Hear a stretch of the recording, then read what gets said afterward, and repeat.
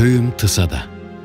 Henüz bıyıkları terlememiş bir genç ilk kez taşlık bir tarlayı sürmeye başlıyor. Bir başka genç ilk kez bir ev yapımına girişiyor. Bir üçüncüsü atını eğerleyip ilk kez uzak bir yola koyuluyor. Onlara bakan babam sevinç içinde bu bahar ne çok oğlan doğdu köyümüzde diyor. Emeğiyle yararlı işler yapmamış, güzel işler başarmamış, yüce amaçlar düşlememiş, yürekten dostluk nedir bilmeyen yeteneksiz insanlar için dağlarda saçları ağarana dek yaşadı ama hiç dünyaya gelmedi derler. Başımda saçlar iki renk. Hem ak var hem kara. Ama doğrusu şu anda söyleyebilmem çok güç. Ne zaman doğdum ben? 11 yaşımdayken daha kemer takmaya başlamamışım. Hiç at eğerlememişim. Damımızda serili öküz postunun üzerine uzanıp ilk şiirimi yazdığımda doğdum belki. Ya da daha sonraları okulumuzun duvar gazetesinde ilk şiirim göründüğünde. Belki de 1943'te doğmuşumdur. Dağıstan yayın evinden ilk şiir kitapçığım çıktığında. Övgülerinde pek cimri olan babam, işte benim de bir oğlum oldu diye ne zaman içinden geçirdi bilmiyorum. Belki de bunu hiç diyemeden öldü gitti. Kartal yürekli halkım avarlar.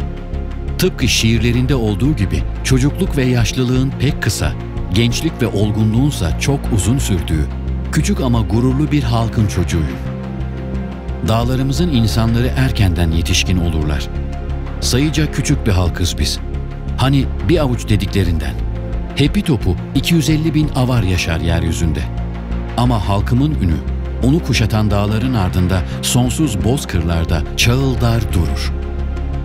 Çocukluğumda dinlediğim halk masalları, söylenceler, şarkılar, Kubaçi'nin kılıç kalkmaları gibi iz bıraktılar yüreğimde.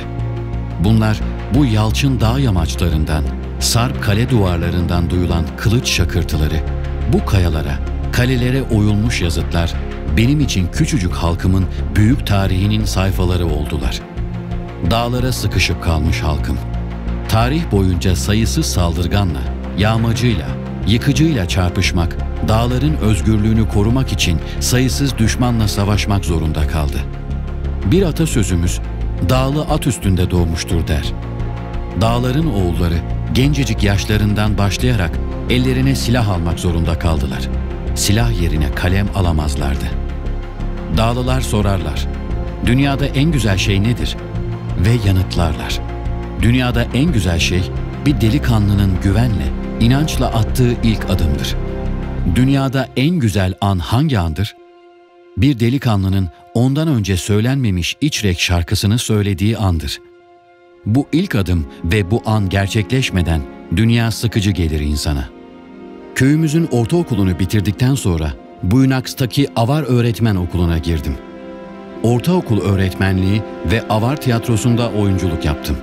Cumhuriyetimizde yayımlanan çeşitli gazetelerde çalıştım. 1950 yılında Moskova'da Gorki Edebiyat Enstitüsü'nü bitirdim. Ateşli Sevgi ve Yakıcı Nefret. Bu ilk şiir kitabından sonra Avarca, Rusça, Dargince, Lakça, Gürcüce, Korece ve başka bazı dillerde 30'u aşkın kitabım yayınlandı. Bana göre bunların içinde en önemlileri doğduğum yıl, ağabeyim üzerine lirikler, şiirler, dağlı yüreği ve dağlı kızdır. Yukarıdaki satırlar yıllar önce yazıldı. 35 yaşımdayken. Yüreğim eskiden olduğu gibi şu anda da sevgi ateşiyle yanıyor. Sevgi insanı konuşturur. Ben de konuştum. Bazen alçak sesle, bazen bağıra bağıra, bazen şiirle, bazen düz yazıyla. Hayat buyurdu, ben yazdım. Şiirlerim kitap oldu, okurların eline ulaştı. Benim sanatımda bir numaralı yeri tutan iki sınır, öz topraklarım Dağıstan'ımın sınırı ve yüce sosyalist vatanımızın sınırı. Turnalar, dostları koruyun, yılların tesbihi ve yazı. Bu kitaplar benim hayat, ölüm, dünya, insanlar, ayrılıklar, kavuşmalar üzerine düşünüşlerimdir.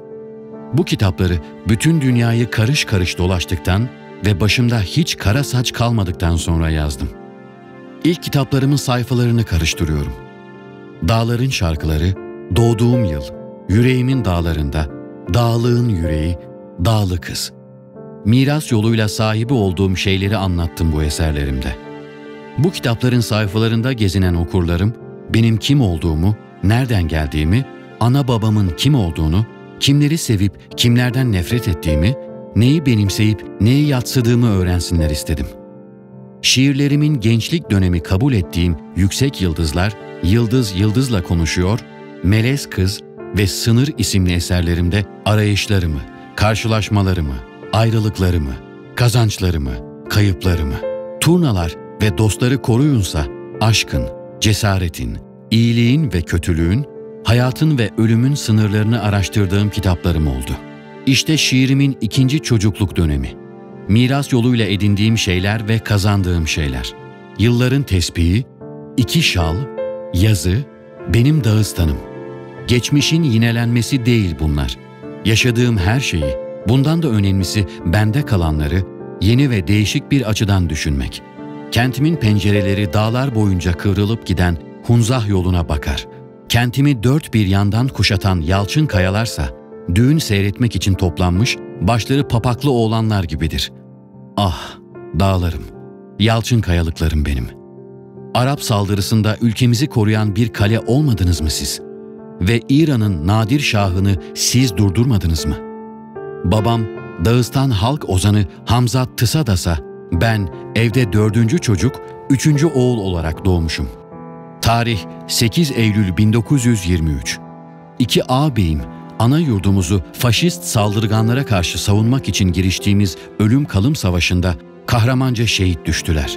Babamı 1951 Haziran'ında 74 yaşında yitirdim. Şu anda evimizde başı papaklıların en büyüğü benim.''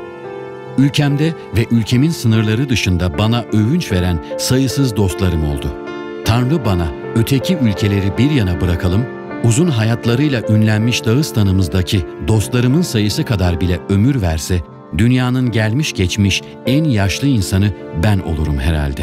Ülkemin şiir yapısına üç küçük taşta ben koyabilseydim, şiirlerimde hiç değilse üç cigarayı yakmaya yetecek köz kalabildiyse ne mutlu bana.''